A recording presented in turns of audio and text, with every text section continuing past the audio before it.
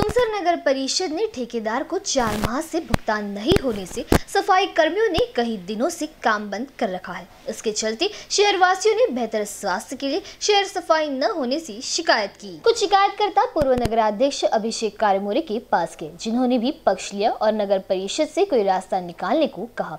नगर परिषद ने तुरंत ठेकेदार के नाम से चेक जारी कर सफ़ाई कर्मियों को काम फिर शुरू करने का कहा। नगर परिषद ने तुरंत ठेकेदार के नाम से चेक जारी कर सफाई कर्मियों को काम फिर से शुरू करने को कहा लेकिन चेक खाते में पैसे नहीं होने के कारण मामला और उलझ गया। नगर परिषद तुमसरमध्ये कंत्राटदार पद्धतीने जो सफाई कामगार कार्य करत आहे त्यांचे चार महिन्यापासून त्यांची देख शिल्लक आहे.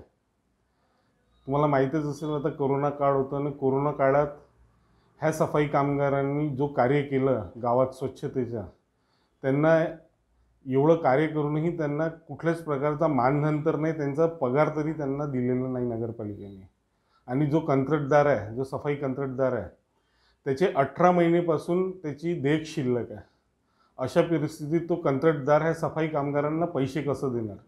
नगर परिषदची परस्पर जबाबदारी आहे का ह्या लोकांना आपल्या गावाचे हे नागरिक आहे यांना पैसे दिलेच पाहिजे.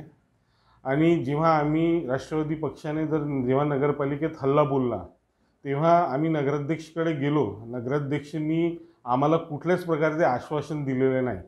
मग आम्ही मुख्याधिकारीकडे गेलो. मुख्याधिकारी बोलले का मी चार दिवसात यांची देहेक देतो. आणि त्यांनी भ्रमित करण्यासाठी त्यांनी चेक इश्यू केला. आणि मग मला त्या कंत्राटदाराकडून कळलं का ते चेक ज्यांनी जे नगर परिषदनी इश्यू केलं त्या हेडमध्ये कुठल्याच प्रकारचे पैसे नाही. पीसीएन न्यूज के लिए भंडारा से सुरेंद्र चिंधालोरे की रिपोर्ट